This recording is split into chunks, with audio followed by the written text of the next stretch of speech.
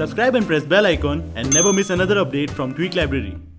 Hey everyone, this is Shivani and welcome to Tweak Library.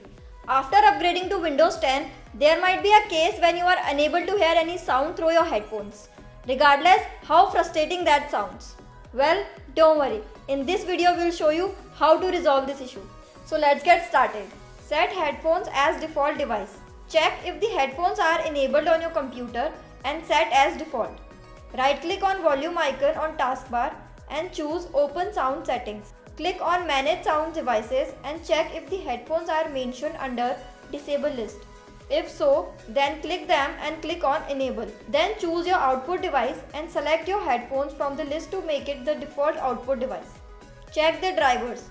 Another way of resolving the headphones issue is to check device drivers. Open device manager by typing it in the search box on the bottom right of your screen. Then double click on sound, video and game controllers and click on the driver name under that. Right click on the selected driver and choose update driver. Windows would automatically search for the latest version and install it.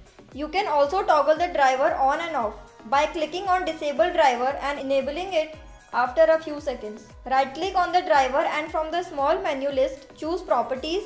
In the new window choose the driver tab and click on rollback driver. Check the default format of the headphones. There is another option which can be checked for headphones not working on Windows 10. To do so, type control panel in the search box of the bottom right of your screen and open the control panel window. Click on sound.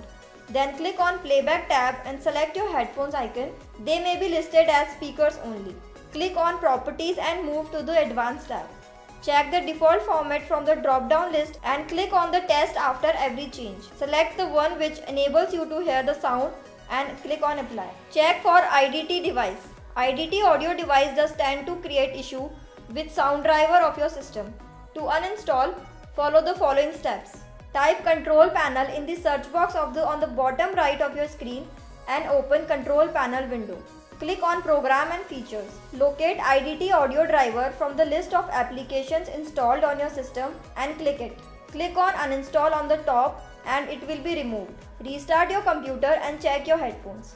Hope you found this video helpful. Please let us know your thoughts in the comment section below and for more such videos like, share and subscribe to our channel.